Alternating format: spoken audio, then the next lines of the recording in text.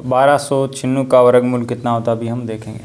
तो आप जानते हैं बच्चों कि वर्गमूल को हम अंडरूट के द्वारा लिखते हैं। यहाँ पर डिवीज़न मेथड यानी भाग विधि काम में लेंगे। तो भाग विधि में करना क्या है देखिए। यदि मैं आपसे क्वेश्चन पूछूँ कि आप स्टेप फ़र्स्ट क्या करेंगे तो आपका क्या जवाब है? तो एक बच्चा जवाब दे रहा है कि सर हम दो दो अंक का जोड़ा बनाएँगे। किस दिशा में, इस तीर के निशान की दिशा में आगे बढ़ते हो? तो ये आपका एक, ये अगला एक और जोड़ा बन गया। कितना आ रहा है? बारह। अब क्या करेंगे? तो एक बच्चा और जवाब दे रहा है कि संख्या का चुनाव।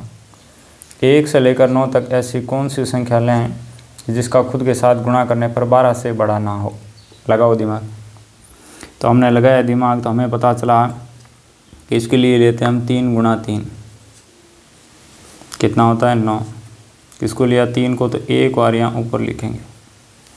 फिर अगले स्टेप में इसको जोड़ना है और इसको घटाना है। बारह में से नौ गया, कितना गया? तीन।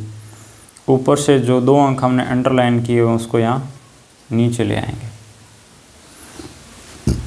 ठीक है, दो अंक अंडरलाइन क्यों किए थे? क्योंकि इसमें दो अंक आपके एक साथ चलते हैं। फिर क्या करें? फिर वही संख्या का चुनाव। फिर गुणा करेंगे, जोड़ेंगे, घटाएँगे, यानी यही स्टेप अब आपके आगे रिपीट होंगे।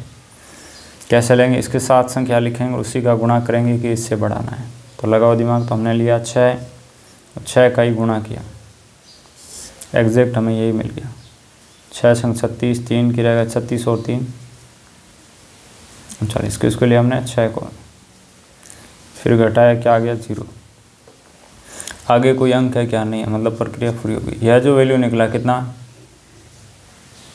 Thirty six. ये आपका आंसर है।